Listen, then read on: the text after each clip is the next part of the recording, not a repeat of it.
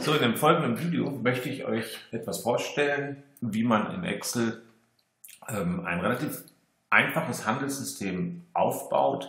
Und mir geht es hierbei mehr um die reine Excel-Funktion, als dass ich sage, hey, das wird das super Handelssystem, ähm, mit dem kann man sich zur Rente setzen und in den Ruhestand gehen. Darum geht es nicht, sondern mir geht es mehr darum, euch zu zeigen, wie das einfach in Excel funktioniert. Nichtsdestotrotz, die grundlegende Idee mal hier an einem Guidance Chart vorgestellt. Hier ist der DAX der letzten zehn Jahre dargestellt und das mit einem EMA, in dem Fall einem EMA 100 und die ganz einfache Handelsidee soll einfach folgende sein. Wenn der Kurs unter dem EMA ist, wollen wir einfach Short sein. Das heißt, ab hier würde man Short einsteigen. Hier müsste man jetzt genau gucken, wo der Tagesschlusskurs war. Man hätte die Strecke bis hierhin mitgenommen wäre auf Long eingestiegen, hier wieder ausgestiegen, vielleicht kurz Short gegangen, dann wieder Long und so weiter. Hier bis dahin in einer solchen Seitwärtsphase würden wir mehrmals wechseln, wieder länger auf Long gehen und dergleichen. Das ist einfach die grundlegende Idee. Wir wollen den EMA nutzen, um langfristige Trends einfach mitzunehmen. Okay, erste Aufgabe ist natürlich jetzt zunächst mal, wir brauchen Kurse und diese Kurse ähm, werden wir uns einfach bei Yahoo in dem Fall mal besorgen. Und ähm, das geht relativ einfach, auch dort. Wir gehen da auf Finanzen, ähm, Kurse, Indizes. Attention Step 1, Buy Call. Nochmal, jetzt haben wir es da auf DAX. Wir wollen historische Kurse haben. Wir wollen einfach was die gesamte Historie nehmen, die wir hier haben und das Ganze dann nachher in Excel weiterverwenden. Hier haben wir jetzt erstmal eine Textdatei mit den Kursen. Das Ganze speichern wir ab und fangen dann an der Stelle an, indem wir das Ganze hier mit LibreOffice in dem Fall öffnen, machen wieder einen Textimport, weil eigentlich ist es eine Textdatei und keine Tabellendatei. In der englischen Einstellungen wird es wieder funktionieren, dass wir die Punkte zu Kommata machen und dergleichen. Und wir schauen uns das mal an, ob das vernünftig aussieht. Das sieht auf den ersten Blick gut aus, alle Zahlen und äh, auch das Datum ist rechtsbündig. Hier gibt es noch ein Volumen, das werde ich einfach schlicht und ergreifend löschen. Bei Yahoo ist es so, die reden immer vom sogenannten äh, adjustierten Close, was auch immer das ganz genau ist, soll mich jetzt auch nicht weiter interessieren, sondern wir wollen eh nachher alles auf Basis der Close-Kurse machen. Das Datum wird auch richtig interpretiert. Der einzige Schönheitsfehler, ähm, hier ist es jetzt so, dass das der jüngste Tag oben ist. Das Ganze wollen wir einfach eben umdrehen. Das heißt, wir markieren das Ganze, sortieren es und werden es dann aufsteigend als Datum. Und jetzt ist auch der jüngste Tag ganz unten. Soweit sieht das erstmal vernünftig aus. Machen wir nochmal oben ein paar leere äh, Zeilen rein. Und zur Kontrolle plotte ich das mal eben auch, um zu gucken, ob einfach der äh, Kursverlauf vernünftig aussieht, ob da jetzt alles aussieht, so wie wir es auch ungefähr kennen. Aber da kann man jetzt schon erahnen, das sieht eigentlich soweit gut aus. Das ist der Kurs jetzt seit ähm, gut 20 Jahren. Und ähm, wir wollen jetzt keine Chartbesprechung machen, von daher gehe ich mal nicht auf den Kursverlauf hier weiter ein. Im Guidance Chart hatte ich gerade einen EMA, also müssen wir jetzt noch gucken, wie ist EMA genau definiert, um ihn auch hier dann entsprechend mit Formeln zu implementieren. Dazu gucken wir einfach mal eben im Internet nach. Ähm, EMA berechnen, und ich hatte jetzt hier schon mal geschaut, einfach, ich gehe auf die Trade Signal Online-Seite und finde da auch nochmal die Definition, wie der EMA berechnet wird. Ihr könnt das mal nachher genauer durchlesen. Das Ganze ist relativ einfach. Man nimmt den Close-Kurs des aktuellen Tages, subtrahiert dann den EMA-Wert vom Vortag. Das Ganze wird dann multipliziert mit einem, nennen wir es mal, Gewichtungsfaktor, der sich so berechnet, 2 durch Periodenanzahl plus 1. Also eine EMA 100 wäre dann so etwas wie 2 durch 101 und das Ganze addiert man dann auf den EMA vom Vortag. Das Ganze machen wir dann auch hier dann mal direkt. Wir brauchen einen Startwert für den EMA. Da nehmen wir einfach den letzten, äh, die erste Zahl, die wir überhaupt haben. Dann brauchen wir nachher noch so einen EMA-Wert. Äh, zum Beispiel, ich möchte ja den EMA 100 berechnen. Und jetzt brauchen wir hier diese Formel abgebildet, so wie sie auch gerade bei Trade Signal Online stand. Und was stand da im Wesentlichen? Man nehme den aktuellen Tagesschlusskurs, subtrahiert den EMA des Vortages, multipliziert das Ganze dann mit diesem Gewichtungsfaktor 2 durch, Klammer auf, der EMA-Wert plus 1.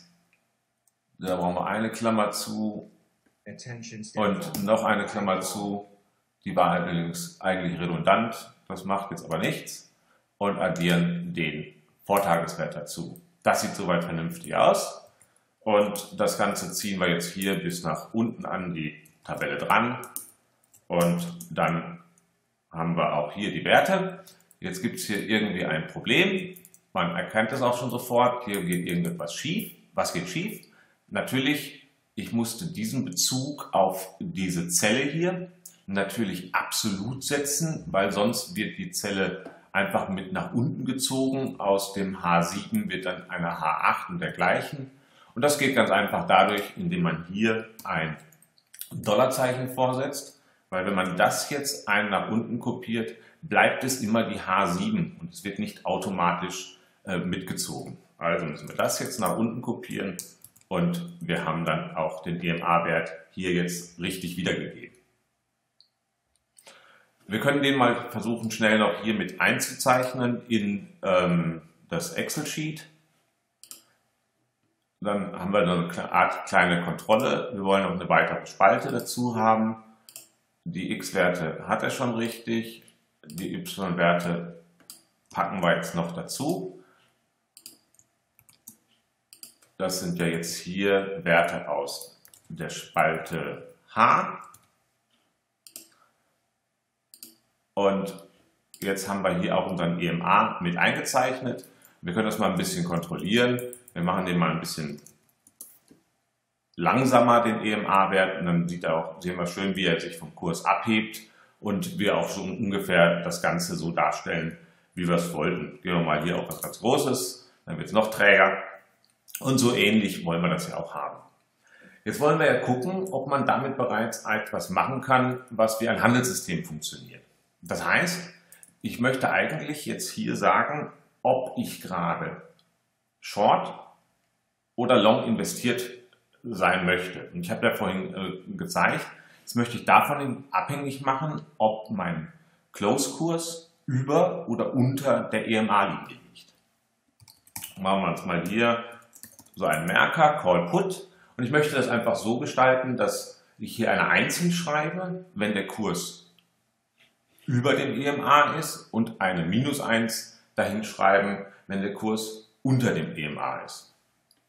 Das heißt, wir brauchen jetzt eine äh, Wenn oder eine If-Bedingung ähm, und wir gucken jetzt, liegt der Kurs, ist der größer oder gleich dem EMA. Wenn das der Fall ist, möchte ich hier eine 1 haben. Wenn das genau nicht der Fall ist, also dann ist der Kurs kleiner, soll da eine Minus 1 sein. In meinem Fall ist es jetzt hier gerade diese Gleichheitsbedingung, die wird wahrscheinlich ansonsten nicht mehr hier auftreten und dann steht hier die 1.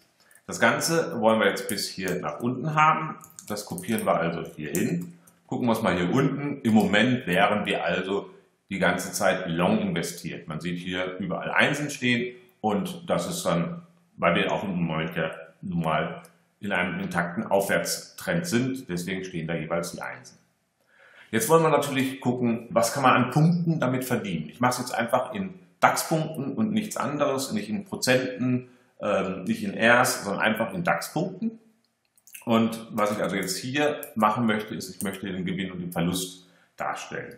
Das geht jetzt sehr einfach, weil wir gehen einfach hin, wir nehmen uns den aktuellen Schlusskurs, ziehen den Schlusskurs des Vortages davon ab das ist ja jetzt die Differenz, die von gestern nach heute passiert ist. In dem Fall eine Abwärtsbewegung von rund 30 Punkten. Und jetzt geht es darum, wie bin ich investiert? Investiert bin ich nicht short, sondern ich bin long investiert. Ich muss jetzt hier, das ist ganz wichtig, auf den Vortag gucken, weil sonst fange ich an, in meinem Handelssystem die Zukunft immer schon gleich mit einzubauen. Das heißt, ich darf jetzt hier nicht mal minus 1 nehmen, also diese Zelle, sondern ich muss die Zelle vom Vortag nehmen. Das ist ganz wichtig, weil man sonst äh, sich hier sehr schnell belügt. Ich kann ja erst am Ende des aktuellen Tages entscheiden, wie will ich ab jetzt investiert sein. Deswegen muss ich also hier multiplizieren mit dieser Zelle, um mein Ergebnis zu haben. Mit anderen Worten, an diesem ersten Tag haben wir 27,9 Punkte minus erzielt. Das Ganze können wir jetzt wieder hier bis nach unten durchziehen. Und ihr seht auch sofort, warum ich hier auf die zweite Zelle gegangen bin und nicht hier, weil ich ja gar nicht weiß, wie es vom Vortag her war. Hier stehen jetzt also meine Gewinne, Gewinne und Verluste des, des aktuellen Tages. Und das Ganze möchte ich natürlich jetzt hier auch nochmal summieren. Und das heißt, ich nehme einfach die Summe in der Form. Das heißt, ich nehme den vom Vortag und addiere den aktuellen da drauf. Das heißt, so bekomme ich jetzt hier komplett meine äh, Gewinn- und Verlustrechnung. Und gucken wir uns auch das mal eben schnell an als, ähm, als Chart.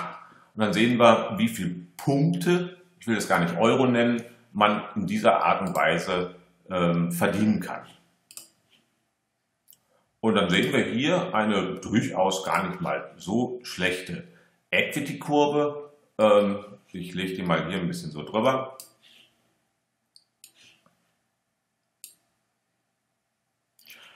Wir sehen erstmal, die ersten Jahre passiert eigentlich mehr oder weniger gar nichts. Dann oszilliert es hin und her und wir kriegen hier schon eine aufsteigende Equity-Kurve. Das Schöne ist allerdings jetzt, wir können sehr leicht mal gucken, wie variiert das eigentlich, wenn ich mit dem EMA spiele?